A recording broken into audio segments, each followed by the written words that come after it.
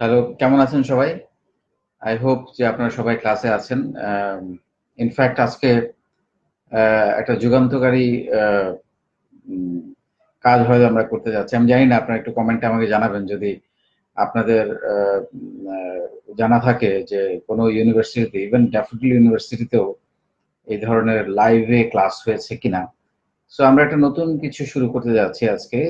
লাইভে ক্লাস করা যায় এবং একটা ক্লাসরুমের যে এনভায়রনমেন্ট হ্যাঁ হয়তো আমি আপনাদের দেখতে পারব না but it will be interactive কারণ আমরা কমেন্টে কথা বলব যে সেখানে কি হচ্ছে সবকিছুই আমরা আলোচনা করব, আপনাদের প্রশ্ন নেব সেই প্রশ্নের উত্তর দেব, এবং অ্যাকর্ডিংলি ক্লাসটা আই হোপ যে অনেক ইফেক্টিভ হবে। তো আমরা শুরু করি ক্লাসটা ইনশাল্লাহ yes Tanisha Farhana thank you very much আমরা আপনাদের কেমন আছেন সবাই? হ্যাঁ এটা আমাদের জন্য একটা নতুন দিক তিশা ফারহান, এটা আমাদের জন্য একটা নতুন দিক। আপনারা একটু আমাকে জানাবেন যে লাইভে কখনো ক্লাস করেছেন কিনা? ইউনিভার্সিটিতে বা বাংলাদেশে কোথাও এই ধরনের ক্লাস হয়েছে কিনা, আমার একটু জানাবেন। এক নাম্বার। দুই নাম্বার হচ্ছে যে আমরা ডেফিনেটলি আপনারা জানেন যে অন্টারপ্রিনারশিপ নিয়ে আমরা ক্লাস করছি অনেকদিন ধরেই। এই সেমিস্টারটার আমরা অলমোস্ট ইন দ্য মিডল এবং এই সেমিস্টারের গ্রেট এই সেমিস্টারের মিড টার্ম পরীক্ষা ফার্স্ট জুলাই আমি রুটিনটা দেখেছি। হ্যাঁ রুটিনটা দেখেছি। সো আমাদের আসলে হাতে সময় নাই। আর আপনারা বলছিলেন যে, একটা ক্লাস এর মধ্যে খুবই জরুরি, যার কারণে আমি আজকে লাইভে আসলাম এবং আমরা একটু ঘন্টাখানেক জিনিসটা সেশনটা চালাবো। যাতে করে আমাদের যে যে টপিকগুলো আছে, সবগুলো আমরা কভার করতে পারি। আপনারা আমাকে তিশা বলছিলেন যে স্যার সিলেবাস নিয়ে। সিলেবাস আমি এ পর্যন্ত আপনাদের ইয়েতে যে কটা পোস্ট দিয়েছি ওয়ালে এইটুকুই সিলেবাস মিড টার্মের জন্য। এর বাইরে যদি কোনো প্রশ্ন থাকে, আপনারা আমাকে করতে পারেন। আমি হ্যাঁ আমার অফিসে বসে কথা বলছি। অফিসে বসে আপনাদের সাথে লাইভে ক্লাস নিচ্ছি। আমার অফিস বাদ দিয়ে ইনফ্যাক্ট এবং আই হোপ যে you will enjoy the class আমরা একটু চলে যাই সরাসরি আজকের টপিকে বা আজকের যেটা নিয়ে আমরা আলাপ করব সেই বিষয়ে। তার আগে একটু বলেন যে আপনাদের যে ইয়েটা আমি দিয়েছিলাম অ্যাসাইনমেন্ট সেটা আপনারা করেছেন কিনা? কজন আছেন ক্লাসে একটু আমাকে জানান।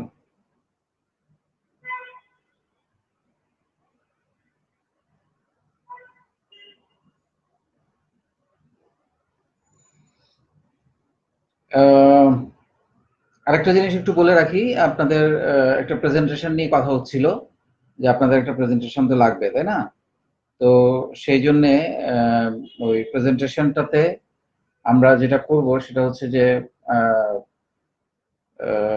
আপনারা অলরেডি পেয়েছেন, আমরা একটা আইডিয়া কন্টেস্ট করব এবং সেইটাই হবে আপনাদের প্রেজেন্টেশন এবং আইডিয়া কন্টেস্টের যেই ইয়েগুলো পয়েন্টগুলো আমরা, দশটা পয়েন্ট আমি আপনাদেরকে দিয়ে দিয়েছি অলরেডি সেইটা মাথায় রেখে আপনার আইডিয়া কন্টেস্টগুলো আচ্ছা আমার অফিস দেখাবো আমরা ক্লাস শেষ করি। গ্রেট গ্রেট তো আগে আপনারা বলেন, আমাকে একটু কোয়েশ্চেন করে ফেলেন, আমি কথা বলতে বলতে। সেটা হচ্ছে যে মিড টার্মের সিলেবাস বা অন্যান্য ইস্যু নিয়ে আপনাদের কি কি প্রশ্ন আছে? তাহলে আমি কথার ফাঁকে ফাঁকে এই প্রশ্নগুলোর উত্তর দিব। তার আগে আমি একটু কথাগুলোতে চলে যাই। এবং আমরা আজকে মূলত ফান্ডিং নিয়ে বেশ কয়েকটা বিষয় আলাপ করব ফান্ডিং নিয়ে মূলত। তারপরে আমরা বিজনেস আইডিয়া এই দুটোতেই আমরা থাকব মূলত আজকে। তো যেটা হচ্ছে ফান্ডিং নিয়ে আমাদের যে আলোচনাটা আজকে আমরা করব, সেটা হচ্ছে যে আপনারা জানেন যে বিজনেস করতে গেলে একটা দুটো বড় সমস্যা আমাদের চোখের সামনে দাঁড়ায়। একটা হচ্ছে ফান্ড এবং আরেকটা হচ্ছে যে আইডিয়া কি বিজনেস করব। ফান্ড নিয়ে অনেক রকমের কথা আছে, যে ফান্ড তো পাওয়া যায় না, কীভাবে ফান্ড জোগাড় করব এবং সেই জন্য আমরা অনেকগুলো আইডিয়া আমরা ঠিক করেছি যে ফান্ডটাকে আমরা কীভাবে জোগাড় করতে পারি। যেমন হচ্ছে যে, আমি যেটা সবসময় বলি সেটা হচ্ছে যে স্টুডেন্ট লাইফ থেকেই যেমন আপনারা যেটা করছেন, আপনারা করছেন রীতিমতো অন্টারপ্রেনারশিপ স্টুডেন্ট লাইফ থেকেই ফান্ডিং নিয়ে একটা প্ল্যান তৈরি করা দরকার। যে আমি যেহেতু বিজনেস করব, তাহলে আমার মিনিমাম একটা ফান্ডিং এর। আপনি যদি ধরেন ভবিষ্যতে কোনোদিন কোনো পার্টনার নিতে চান আপনি যদি একটা ছোটখাটো মূলধন না থাকে, আপনি কিন্তু পার্টনারদেরকে ইয়ে করতে পারবেন না নিতে পারবেন না পার্টনারদেরকে পাবেন না। বা সেরকম বলো যে তুমি তো কোনো টাকাই দিচ্ছ না, শুধু তোমার আইডিয়া দিয়ে তো আইডিয়া সেল করা যাবে না। আইডিয়া সেল করাটাও একটা ফান্ডিং সো সেই জন্য আপনাদের যেটা করতে হবে, আপনার যে আইডিয়াটা আপনি চুজ করবেন, সেই আইডিয়াটাকে মাথায় রেখে একটা প্রজেক্ট প্রপোজাল বানাতে হবে। আর স্টুডেন্ট লাইফ থেকে যেটা আমি বলার চেষ্টা করতেছি, সেটা হচ্ছে যে, আমি আপনাদেরকে বলেছি যে, আপনারা কীভাবে সময় বের করবেন, এটা নিয়ে আমরা কথাবার্তা বলেছি ক্লাসে যে ইজিলি চাইলে প্রতিদিন চার ঘণ্টার সময় বের করা যায়। সেই সময়টা আপনারা যে কোনো পার্ট টাইম কাজ করতে পারেন বা কোনো স্কিল ডেভেলপমেন্টের কাজ করতে পারেন, সেটাও কিন্তু আপনার একটা ইনভেস্টমেন্ট হিসেবে কাজ দিবে কারণ আপনি যদি এর মধ্যে কিছু শিখে ফেলেন এবং আপনি যেটা আমি বলেছিলাম যে আপনি যদি পার্ট টাইমে কোনো কাজ জব করেন ইভেন বেতন না পান, আপনি যদি কাজটা শিখে ফেলেন, আপনি এরপরে যখন একটা জবে যাবেন, তখন কিন্তু আপনি শুরুতেই প্রথম মানে খুব তাড়াতাড়ি জয়েন করতে পারবেন এবং এটা আপনার এক্সপিরিয়েন্স হিসেবে দেখা দিবে।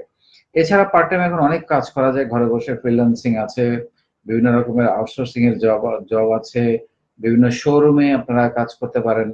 এখন অনেক রকমের শোরুম মাল্টিনেশনাল কোম্পানিগুলো বা মোবাইল কোম্পানিগুলো বিভিন্ন ফেয়ার করে। বিভিন্ন টেম্পোরারি রোড শো করে, সেখানে আপনারা যোগ দিতে পারেন। তারপরে বাংলাদেশে তো এখন নতুন একটা ফরেন কালচার শুরু হয়েছে, সেটা হচ্ছে যে ফাস্ট ফুডে কাজ করা। আমাদের এখানে প্রচুর ফুড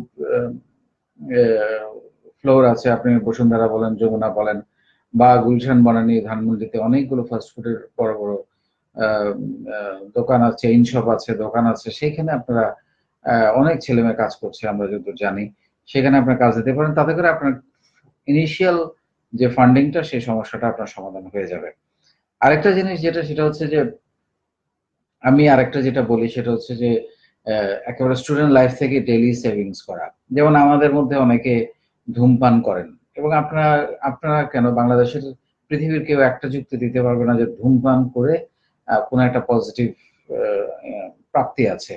সো ধূমপানটা যদি আমরা না করি, সেই টাকাটা কিন্তু আপনারা সেভ করতে পারেন আমি যেটা বলি সেটা হচ্ছে যে খরচ থেকে, একটা তো হলো আয় থেকে আপনি সেভ করলেন, আপনি পার্ট টাইম কাজ করলেন।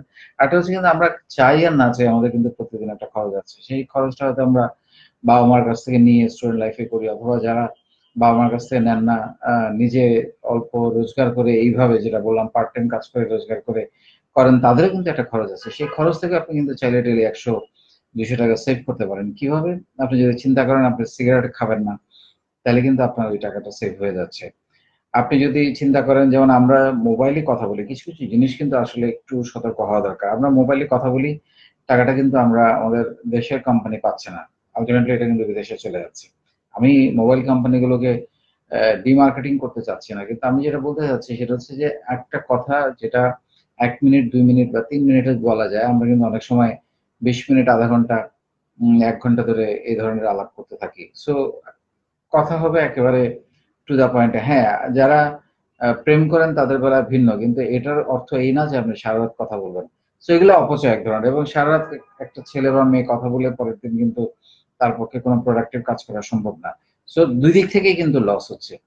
তারপরে ধরেন, আপনি হয়তো স্টুডেন্ট লাইফে বা এই সময় আপনার মনে হলো যে আমি একটা ভালো মোবাইল কিনি বা একটা ভালো ল্যাপটপ কিনি। ল্যাপটপ কিনতে পারলে ভালো বা একটা মোটরসাইকেল কিনি বা একটা অনেক দামি পোশাক বানাই বা শখের কোনো জিনিস আমি একটা কিনি, আমার ইচ্ছে করছে, সেটা কিন্তু আপনি কিছুদিনের জন্য তুলে রাখতে পারেন। কারণ আপনার ইনিশিয়াল মূলধনটা যদি আপনার হাতে রাখতে পারেন এবং সেটা তৈরি করে আপনি যদি একসময় দাঁড়িয়ে যেতে পারেন, তাহলে কিন্তু আর আপনাকে পিছনে ফিরে তাকাতে হবে না। কারণ আপনি পাঁচ বছর পরে যখন দাঁড়িয়ে যাবেন, তখন আপনার সব পূরণ করতে গিয়ে আপনাকে বাধা দিবে না। কিন্তু শুরুতেই আমরা, আমি যেটা সবসময় বলি যে আমরা সব একসাথে করতে চাই, আমাদের আনন্দ, আমাদের বিনোদন, আমাদের শখ পূরণ, একসাথে সবকিছু হয় না। আসলে কিছু একটা সময় পাঁচ সাতটা বছর একটু অন্যরকম ভাবে কষ্ট করে স্ট্রাগল করে অনেক কিছু থেকে নিজেকে বঞ্চিত করে, শুধুমাত্র লাইফটাকে তৈরি করার কাজে যদি ব্যয় করা যায়, তাহলে হয়তো অনেক কিছু সম্ভব। আর একটা আইডিয়া আমি দেই, সেটা হচ্ছে যে, বিয়ে, আপনারা হয়তো পাশ করবেন, কোথাও জব করবেন বা বিজনেস শুরু করবেন ডেফিনেটলি আপনারা যারা পড়াশোনা করছেন, সবাই বিজনেস করবেন। এক এক সময় আপনারা হয়তো এই একেবারে ক্যারিয়ারের শুরুতেই যেটা হয় আমাদের, বা আমাদের সামাজিকভাবে একটা প্রেশার থাকে যে ছেলে বা মেয়ে চাকরি করছে বা মেয়ে পড়াশোনা শেষ হয়েছে, বিয়ে দিয়ে দাও।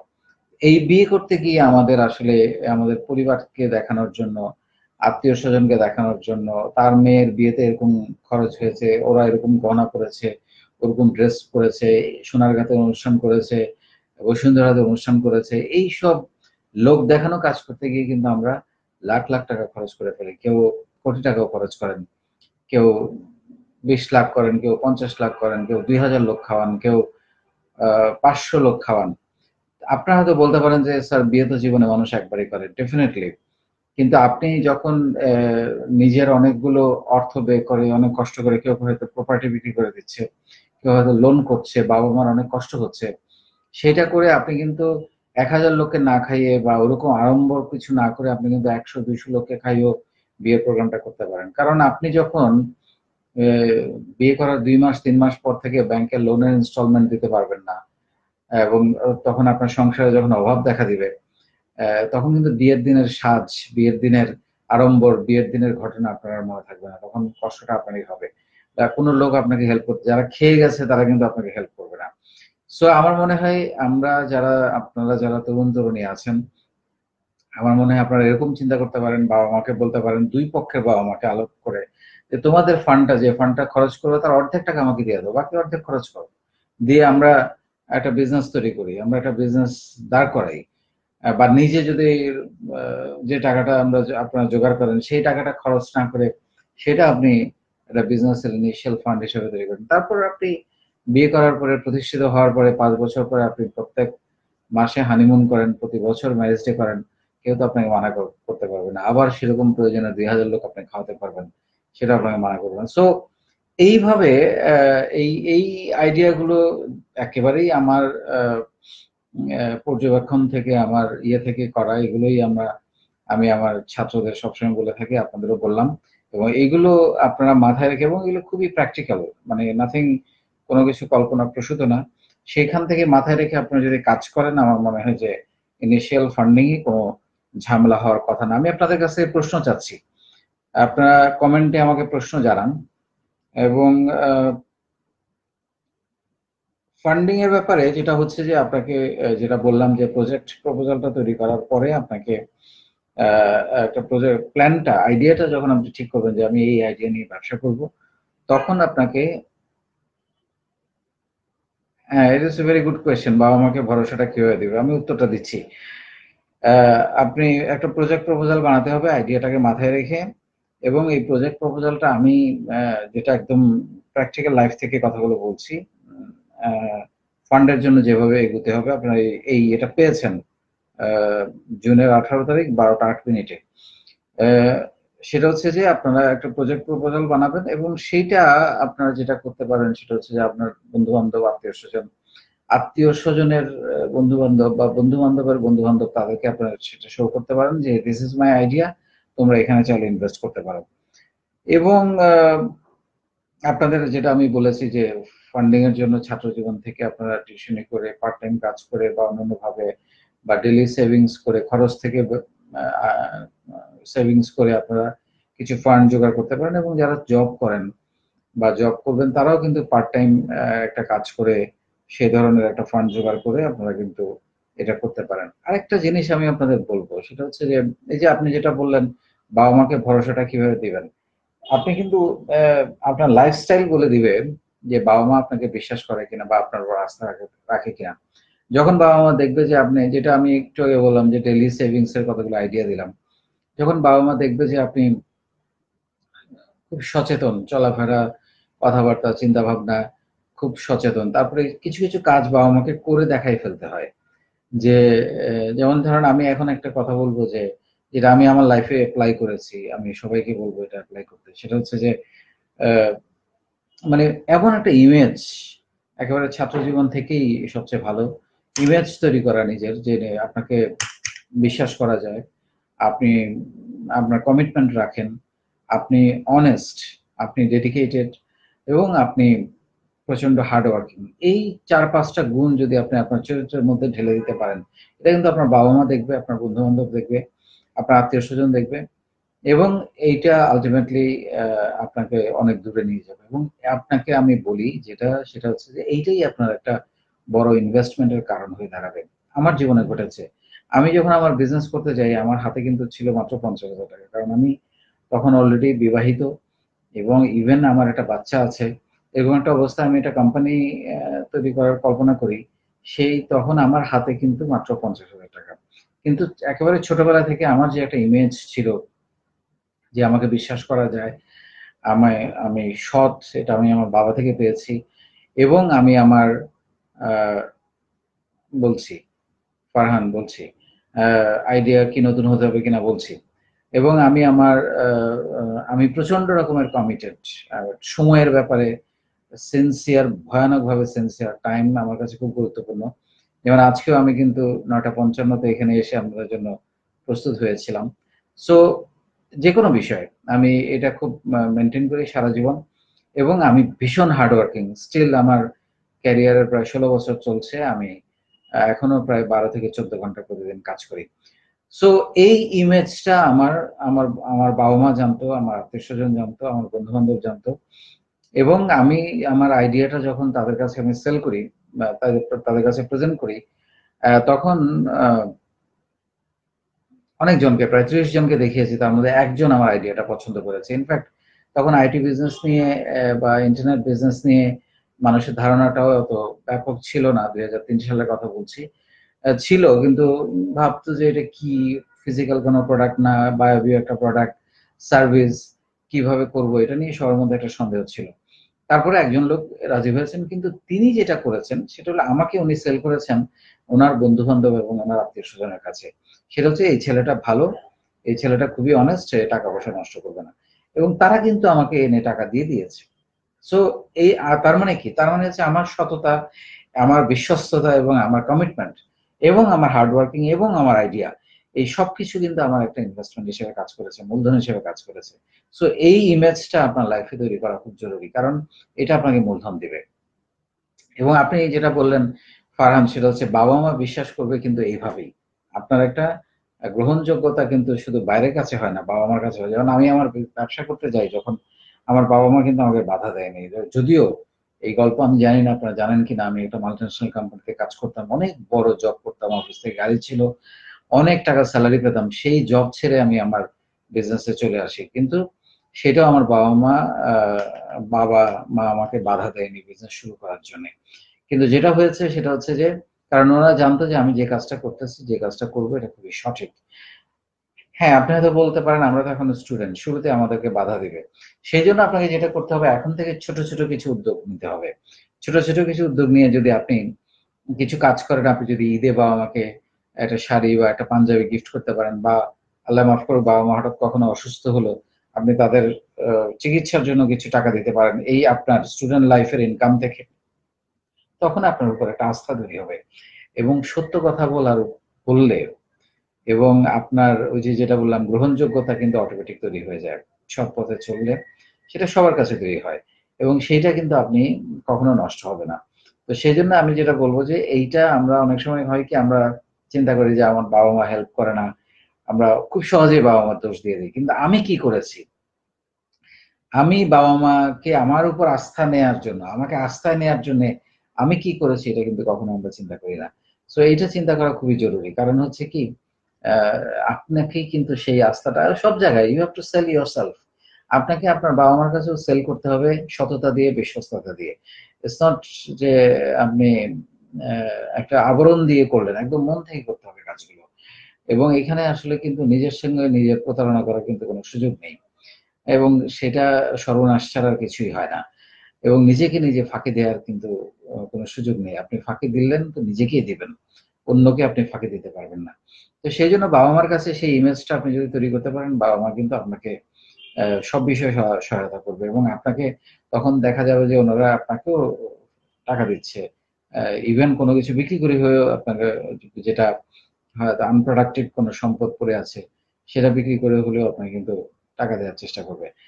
তবে আমি যেটা বলব, আমি আমার লাইফের উদাহরণ থেকে বলব, আমি আমার বাবা যথেষ্ট অর্থনৈতিকভাবে সচ্ছল মানুষ ছিলেন।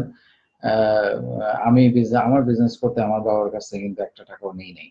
সো সেইভাবে আমার প্রতিজ্ঞা ছিল এবং আপনারাও সেগুলো লাইফে অ্যাপ্লাই করবেন, আমি শিওর ফারহান আর একটা কথা বলেছেন আইডিয়াটা কি নতুন হতে হবে? এক্সিস্টিং বিজনেস আইডিয়া নিয়ে কীভাবে সফল হব? আচ্ছা আইডিয়া নিয়ে আপনারা যদি একটু দেখেন, আমি অনেকগুলো স্লাই ইয়ে দিয়েছি।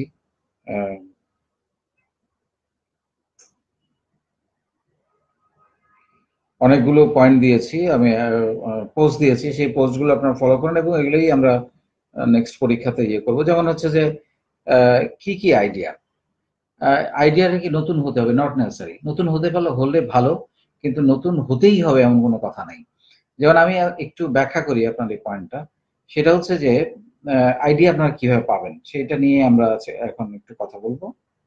ফার্স্ট যাচ্ছি, যেহেতু আপনাদের টাইম নাই কোনো প্রশ্ন থাকলে আপনারা অবশ্যই করবেন, আমি উত্তর দেব। সেটা হচ্ছে যে আপনার চারপাশে প্রচুর ঘটনা ঘটছে। প্রচুর ঘটনা, একটু চোখ কান খোলা রাখতে হবে। এবং এখন তো গুগল মামা আছে যে এই ঘটনাগুলো থেকে আমরা কি আইডিয়া জেনারেট করতে পারি? আমরা দেখেন বাংলাদেশে উবার আসলো, তারপরে পাঠাও আসলো, এখন সাইকেল রাইডিং আসছে। তার মানে কি? মানে এই যে ঘটনাগুলো, এগুলো কিন্তু চায়নাতে সাইকেল রাইডিং কিন্তু আরও বেশ কয়েক বছর আগে থেকে চলছে। তো যারা চায়না গিয়েছে, যারা ওখানে গিয়ে ওইটা ব্যবহার করেছে, তারা এসেই এটা ইমপ্লিমেন্ট করে ফেলেছে। সো দেখতে হবে আপনি কোথায় গিয়ে যেটা হয়তো এখন ঢাকায় আপনি ব্যবহার করছেন, গ্রামে ব্যবহার হচ্ছে আরও বেশ কিছুদিন পরে। সো কোথায় গিয়ে আপনি যখন কোনো একটা জিনিস ব্যবহার করছেন, মাথায় ঢুকাতে হবে যাচ্ছে এটা কি আমি আমার, এটা নিয়ে কি আমি একটা বিজনেস প্ল্যান করতে পারি বা এটা আমি আমার দেশে করতে পারি? বাইরে যাওয়া লাগে না, আজকাল কিন্তু সব ইউটিউব গুগলে সবই পাওয়া যায়। তো সেই জন্য আপনাকে চোখ কান খোলা রাখতে হবে যে কোথায় কি হচ্ছে এবং সেগুলোকে আমরা কীভাবে বিজনেসে নিয়ে আসতে পারি। আরেকটা জিনিস হচ্ছে যে, কোনো সমস্যা থেকে আইডিয়া যেটা আমরা বলি সেটা হচ্ছে যে একজন যেটাকে সমস্যা দেখছে, আপনি সেটাকে দেখতে হবে সম্ভাবনা। সো সমস্যা থেকে আপনাকে আইডিয়া বের করতে হবে। যেমন আমি একটু আগে পাঠা উবারের যে উদাহরণটা দিলাম, যে সিএনজি গুলো অলমোস্ট মনোপলি শুরু করে দিয়েছিল বাংলাদেশে। রাস্তাঘাটে তারা জিজ্ঞেস করলে যাবে না এবং ভাড়া ইচ্ছে মতো। এবং সেই জায়গা থেকে কিন্তু এখন পরিত্রাণ হয়ে গেছে এটা নিজের গাড়ি। তো সেই জন্য আমাদের যেটা দরকার সেটা হচ্ছে যে আইডিয়া থেকে এই আইডিয়াগুলো এইভাবে আমাদের জেনারেট করতে হবে এবং এই সম্ভাবনাগুলো দেখতে হবে হচ্ছে কখন, যখন কোনো জিনিস সমস্যা, যেমন আরও অনেক সমস্যার কথা আমরা বলতে পারি, যেমন এক সময় আমরা এখন যে মশলাটা ইউজ করি সেটা এক সময় আমরা খোলা এবং আনহাইজেনিক ইউজ করতাম। এখন প্যাকেট জাত সহজ করে দেওয়া হয়েছে, তাই না? এরকম অনেক কিছু। যেমন ইভেন আমি বলব যে আপনারা চিন্তা করতে পারেন যে আমাদের দেশে যেটা আমি সবসময় বলি যে জীবনের মূল্যবান দশটা বছর আমরা যানজটে কাটিয়ে দিচ্ছি। প্রতিদিন চার ঘণ্টা করে, তিন থেকে চার ঘণ্টা। এবং এটার ভ্যালু এক বছরে প্রায় তিরিশ হাজার কোটি টাকা। নষ্ট হচ্ছে আমাদের। সো এই যানজটে, যানজট তো আর আমরা সমাধান করতে পারব না। এটা অনেক বড় স্কেলে ব্যাপার। সরকারই পারছে না, নানান চেষ্টা করছে। কিন্তু যেটা আমরা করতে পারি, এই সমস্যাটা সমাধান করতে গিয়ে আমরা কোনো বিজনেস আইডিয়া বের করতে পারি কিনা। এই চার ঘণ্টা মানুষ রাস্তায় কি করতে পারে? কীভাবে বা কারণ নানান রকম ইম্প্যাক্ট হচ্ছে। সে বিরক্ত হচ্ছে, অস্থিরতা হচ্ছে, তার অসুস্থতা বেড়ে যাচ্ছে, ধুলাবালির কারণে তার কষ্ট হচ্ছে। নানানভাবে একটা মানুষ কিন্তু এই চার ঘণ্টার সময়, তিন ঘণ্টার সময় বা দু ঘণ্টার সময় যানজট একটা অস্থিরতার মধ্যে, কষ্টের মধ্যে, সেই কনসেন্ট্রেশনটা আমরা কোনোভাবে দূর করে দিতে পারি কিনা। এরকম নানান চিন্তাও কিন্তু এখন লোকজন করছে এবং আপনারাও এরকম চিন্তা করতে পারেন। কি করা যেতে পারে? তারপরে হচ্ছে যে আপনার কোনো শখ থেকে আইডিয়া যেমন ধরেন আপনি চিন্তা করতে পারেন যে আমি ভালো গান করি, সেটা নিয়ে কিন্তু বিজনেস প্ল্যান করা যেতে পারে।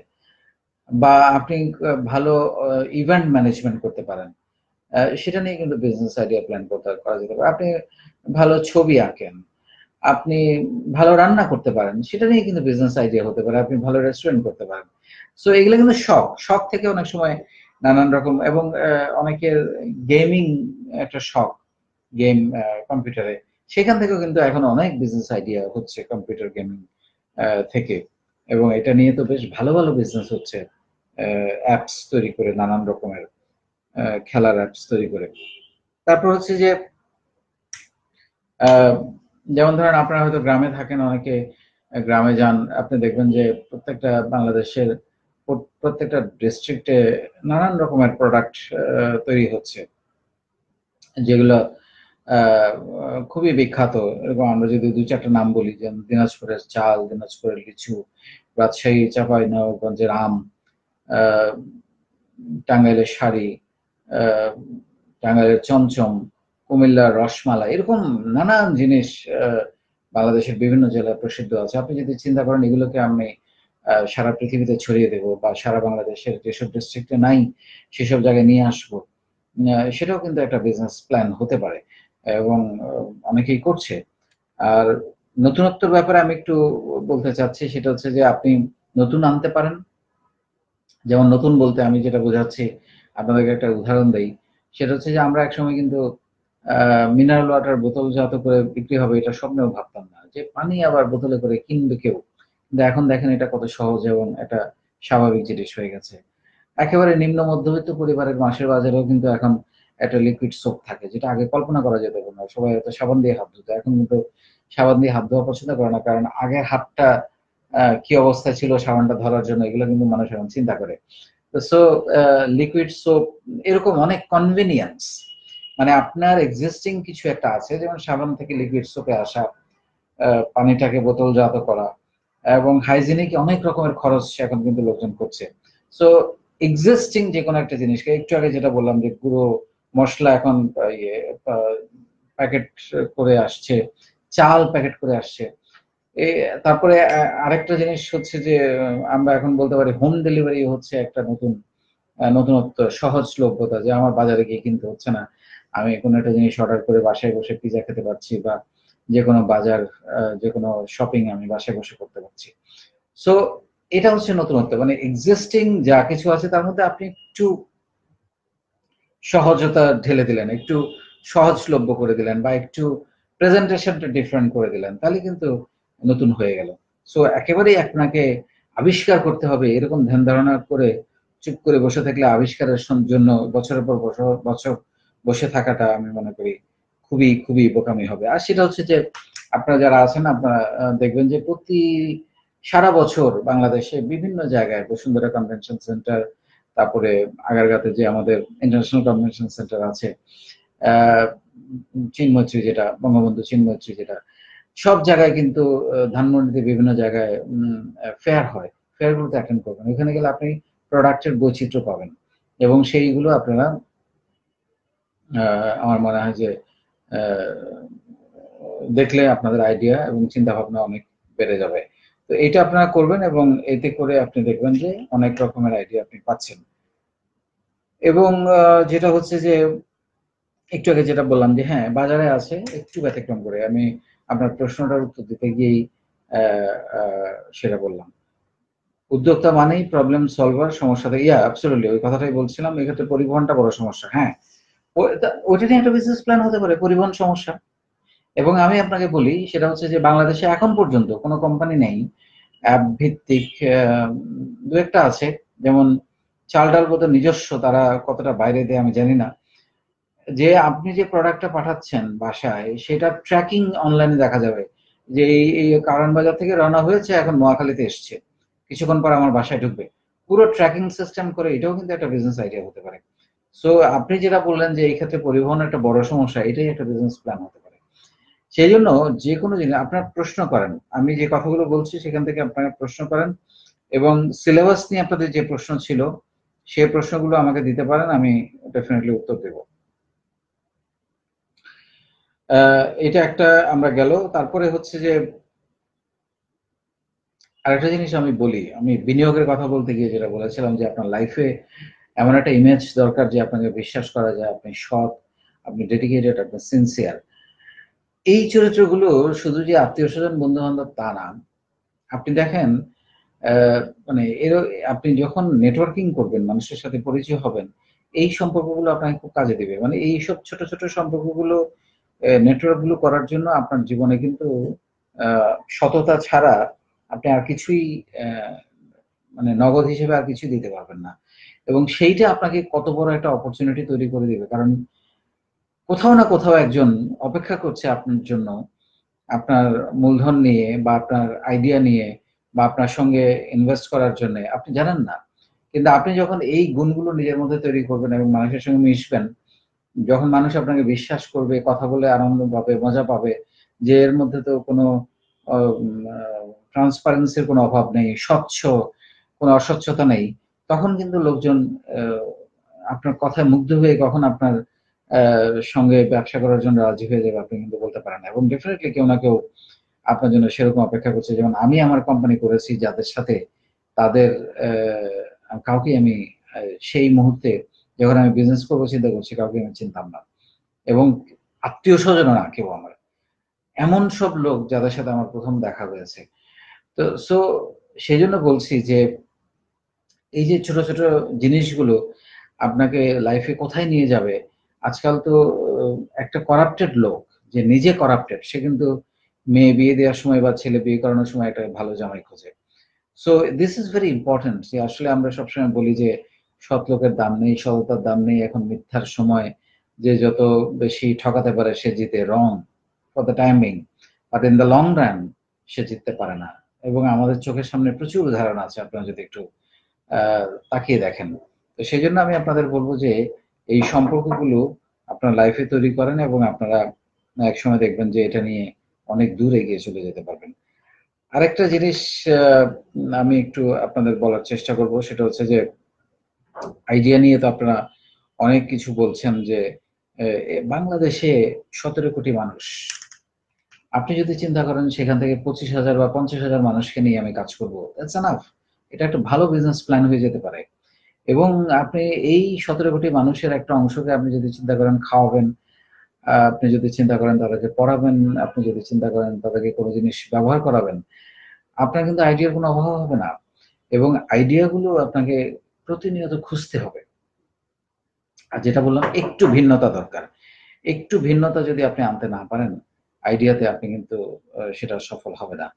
তো সেই জন্য আমি আপনাদের বলব যে আইডিয়ার পিছনে লেগুন এবং এই আইডিয়া নিয়ে কথা বলতে বলতে যেটা আমি আবার বলার চেষ্টা করছি সেটা হচ্ছে যে এই আইডিয়া নিয়ে আপনাদের মধ্যে আমি একটা কম্পিটিশন করব এবং সেটাই হবে আপনাদের প্রেজেন্টেশন সেইটা প্রেজেন্ট করবেন আপনারা এবং সেইটার জন্য আমি আপনাদেরকে এইখানে কিছু টিপস দিয়ে দিয়েছি যে এবং সেখানে কি কি থাকবে। বেসিক্যালি এবং এটা আমরা থার্টি ফার্স্ট জুলাই আজকে এক মাস সময় দিয়েছি আপনাদেরকে সেটা সাবমিট করার জন্য। প্রজেক্টের নাম, আপনি আইডিয়াটা কি কি কোম্পানি ফর্ম করবেন আইডিয়াটা নিয়ে, সেটার নাম এবং আইডিয়াটা কি প্রজেক্টটা কি বা সার্ভিসটা কি সেখানে টোটাল ইনভেস্টমেন্ট কত লাগবে মান্থলি রেভিনিউ কি হবে সেটা তিন বছর দুই বছর বলেছি, দুই বছর মান্থ ওয়াইজ দেখাবেন, জানুয়ারি, ফেব্রুয়ারি, মার্চ, এপ্রিল, এভাবে মান্থ ওয়াইজ চার্ট করে দেখাবেন এবং খরচ কত হবে, খরচগুলো ডেফিনেটলি প্রত্যেক মাসে বা কোয়ার্টারলি বাড়বে, সেরকম ভাবে জিনিসগুলো দেখাবেন। কত মাস পর ব্রেক ইভেনে আসবে এবং তারপর থেকে লাভ শুরু হবে, সেই জিনিসটা আপনাদেরকে দেখাতে হবে। আরওআই কি হবে? আরওআই গুলো একদম কোয়ার্টারলি আরওআই গুলো দেখাবেন। আরওআই গুলো কি হবে? কাস্টমার কারা হবে? সেটার মার্কেটিং প্ল্যান কি হবে? কাস্টমার কারা হবে? সেটার সঙ্গে কিন্তু মার্কেটিং প্ল্যানটা এসে যাবে। মার্কেটিং প্ল্যান কি হবে? এবং প্রোডাক্টগুলোর সেলিং এবং কস্ট প্রাইস কি হবে, আপনি কোথেকে প্রোডাক্ট কিনবেন এবং কোথায় কোথায় এটা বিক্রি করবেন। এই সবগুলো জিনিস একত্র করে চেষ্টা করবেন একেবারে কাল্পনিক কিছু না করতে, বাস্তবিকভাবে করতে। এই জিনিসটা আপনারা তৈরি করবেন এবং এটা জমা দেওয়ার শেষ তারিখ হচ্ছে একত্রিশে জুলাই। হুম। সো এই ছিল আজকে মোটামুটি আমার এবং এটাই হচ্ছে আজকে যা যা কিছু আলাপ করলাম। এতক্ষণ ধরে গত প্রায় চল্লিশ মিনিট ধরে। এটাই হচ্ছে আমাদের মিড টার্ম সিলেবাস এইটুকু থেকেই পরীক্ষা হবে। এবং আপনারা এইটা এই এই সবকিছুই আপনাদের গ্রুপ পোস্টে আছে। এইটা আপনারা ভালো করে পড়াশোনা করে নেবেন। এবং সেইখান থেকে আমরা প্রশ্ন তৈরি করব আপনাদের জন্য। ঠিক আছে? আর এবং যতগুলো পোস্ট দেওয়া হয়েছে গ্রুপে এই পর্যন্ত, সবগুলো পোস্টই ভালো করে পড়বেন। শুরু থেকে এ পর্যন্ত সেগুলোর উপরেই আমরা আপনাদের কাছে প্রশ্ন রাখব। এবং এখন আপনারা আমার কাছে ইয়াস ফারহান, আমি আবার বলে দিচ্ছি, সেটা হচ্ছে যে এই আমাদের গ্রুপে যে কয়টা পোস্ট আমি দিয়েছি, এই পোস্টগুলোই হচ্ছে আপনাদের সিলেবাস মিড টার্মের জন্য। আইডিয়া আইডিয়া কম্পিটিশনটা ছাড়া আইডিয়া কম্পিটিশনটা আলাদা করবেন। এইগুলোর উপরে আমরা প্রশ্ন করব এবং এটাই আপনারা করবেন। এর বাইরে কিছু চিন্তা করার দরকার নেই। তবে সবগুলো পোস্ট কাভার করবেন। হ্যাঁ আর সেখানে কিছু লাইভের উপরে আপনাদেরকে আমি ইয়ে দিয়েছিলাম কি বলে অ্যাসাইনমেন্ট দিয়েছিলাম, সেগুলো একটু দেখবেন। সেগুলোর উপরে প্রশ্ন থাকবে, কারণ লাইভগুলো আপনারা দেখেছেন পুরোনো লাইভগুলো সেগুলোর উপরে থাকবে। এনি আদার কোয়েশ্চেন আদারওয়াইজ আমরা আজকে শেষ করব। এবং আমার মনে হয় ক্লাসের যে এনভায়রনমেন্ট ছিল, আমি হয়তো আপনাদের চোখ দেখতে পাইনি বাট আপনাদের কমেন্ট ছিল, আমার ধারণা, আপনারা ক্লাসটা অনেক এনজয় করেছেন। কেমন লাগল ক্লাসটা কমেন্টে জানাবেন। আর কোনো প্রশ্ন থাকলে কমেন্টে করেন, আমি সেটা রিপ্লাই করব। আপনাদেরকে অনেক অনেক ধন্যবাদ জানিয়ে আজকের মতো ক্লাস শেষ করছি এখানেই। I wish you all the best ইনশাল্লাহ হয়তো শনিবার দিন দেখা হবে। Take care bye bye